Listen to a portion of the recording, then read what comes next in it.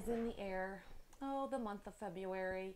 So I am bringing a Freebie Friday paint along for you. It is called Love Cow. So I also like to add a little piece of paper that we added to the top that you can print out and it says I love Moo. So this is a great paint along that you can use to share with any of your loved ones. So go grab your art supplies and meet you back here. Are going to be working on our love cow. Now we need to make sure we have all our supplies. You have your easel, which is sitting on the table. Um, you have a canvas. Please remember you need to make sure that you paint all four sides as we add the background color. So make sure that you will have to turn it to get to the bottom. You have your cup of water you will see that there are two brushes. Make sure you look because there is a large red brush and a small red brush. So please listen to Miss Lawson because I will tell you if you need the small or the large brush. Sitting at your table, you're going to have a foam brush, which we will throw this away when we're done with it, a piece of chalk, and then your colors. You have black, red, and white. Um, we will be making pink so that's what we'll do between these two colors. And then you have your paper towels. Also, you're going to see there is a handout that has our step-by-step -step drawing of our love cow. That's just to have um, if I move too fast. So we are going to start with our big foam brush. Again, we're going to use this to paint the background and then we're going to throw this away. Red is your first color. So you're going to make sure that you grab some red, and then you're going to just start filling it in the back. Now, again, this paint is acrylic paint. It will stain your clothes, so make sure your sleeves are rolled up, your jackets are taken off. It will not stain your hands. It will wash off, but it will stain your clothes. So, go ahead make sure that you spread this paint out. We don't want any big globs of paint.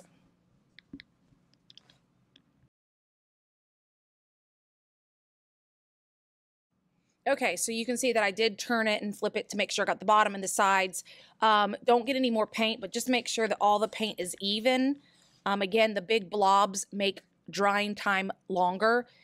This is going to be going to the trash can, so play, please make sure you throw this away and then you're going to walk your canvas over to Miss Lawson's table so I can blow dry this one layer before we move to drawing our cow.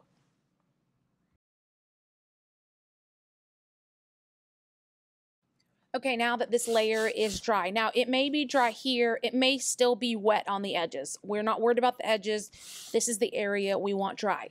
This is when your little handout that is sitting at your table going to come in handy. We're going to be doing each step um, together. So your chalk is the next supply. Now, as we draw this with chalk, if you feel like you don't like where you drew it or the size or shape, please raise your hand. Miss Lawson will come around with a damp paper towel and I will clean it off. Or just take your hand and rub it off. Um, the chalk will disappear after it dries. So the first shape is going to be its head, which is somewhat of a funny shape. I don't even know how to explain it. What you do want to know is you need to leave room at the top for the horn. So we don't want to start here. We're going to come down and we do need to leave room at the bottom because we want some of a body. So it's going to kind of be right in the middle. So the shape is going to be larger at the bottom and smaller at the top. It kind of looks like an egg, but not really. Once we have the head, then we're going to go off the edges and we're going to add the ear, which is just a curve on both sides.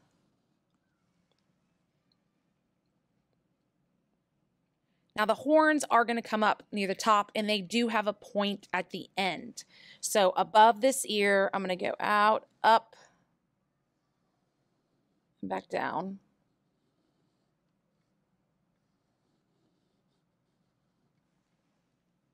Make sure they are touching the head. Then we're going to add the line that's going to separate the nose. And it kind of, I did that bump in the middle to make it somewhat look like a heart since we're doing a love cow. We will not draw the eyes with chalk. Um, I know you see the eyes in this step, but we're not going to draw it because we're going to paint over that. We're just separating the shapes. And the last part is adding the body, which you kind of have to pick it up off the thing, underneath that nose all the way to the end of your canvas.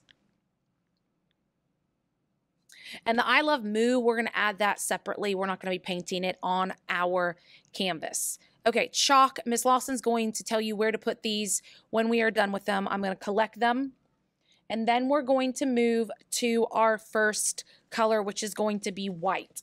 You'll need your big red brush. So as you take it out of the water, please make sure that you're dabbing it on the paper towel to get all of the water off. We're going to be moving to white. So you're just going to get a little white. And we're going to paint starting at the head.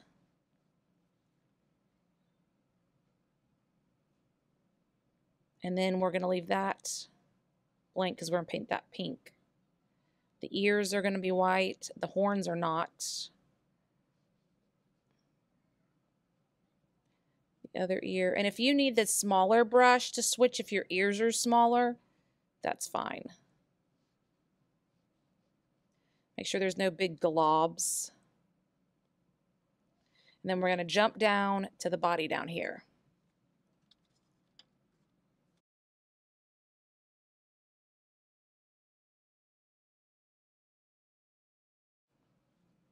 Okay, so I'm going to make sure these soak in the water.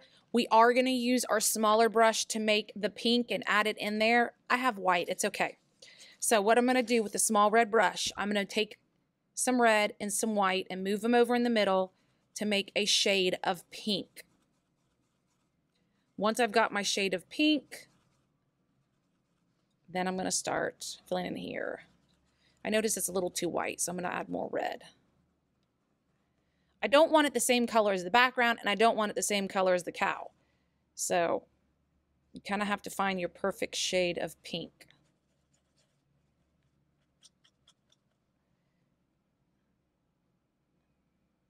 And then you're just going to follow that chalk line of the nose.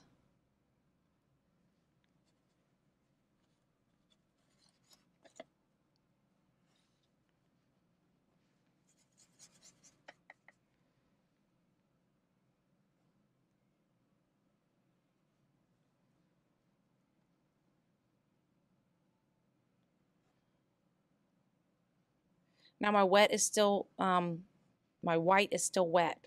So I do need to be careful. Okay, now we're to wash this off. So make sure you put it in the water.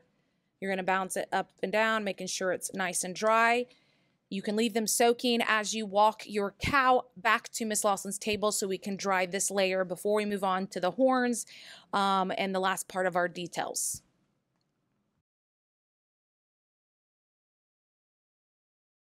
Okay, now that this layer has been dried, we're going to finish it up.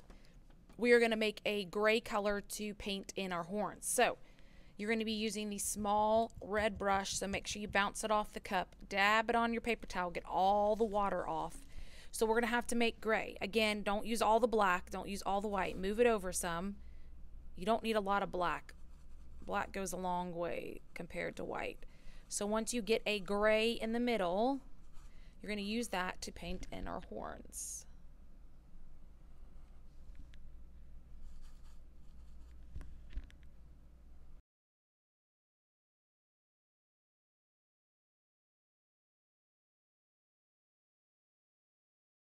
are painted gray. Um, again, you're going to clean your brush off, so make sure you bounce it off the bottom of the cup. Gently wipe and get all the water off.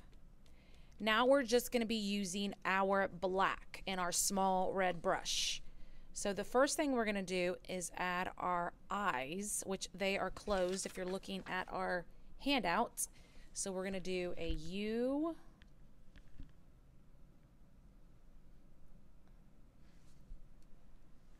And a U. And then if you want to add some eyelashes, just little lines off. Then we're going to add our nostrils in.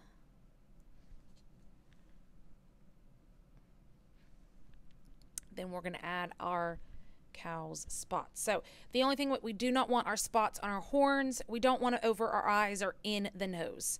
So we're only adding spots and they're just a wiggly line and then you paint it in black on the white part. Again, you can kind of create your own cow spots. You don't have to follow exactly where I'm putting mine. Big ones, small ones, they can be on the ear.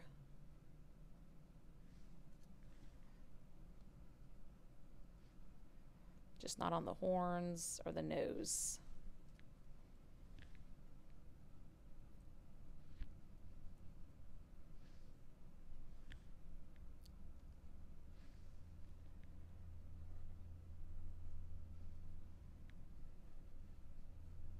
So figure out where you would like your spots on your cow.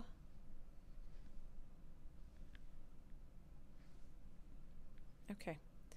I think I like my little cow. So take your brush. The last step we're going to do um, is we're actually going to wash this off. Put that in your cup. We are going to use our Sharpie marker to add our initials to let the world know which artist created this piece of artwork. So I'm going to show you where to get a permanent marker. You're going to put it in a corner, left or right. It doesn't matter. Now be careful, my paint's wet right there. So you're going to take your marker, and if you have a, a short name, a small name, you could write your whole name. If not, you're just going to write your two initials.